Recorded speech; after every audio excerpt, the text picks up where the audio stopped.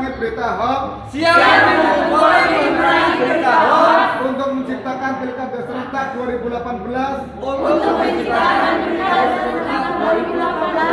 2018 yang aman dan damai yang aman dan damai Dewek seduluran Dewek seduluran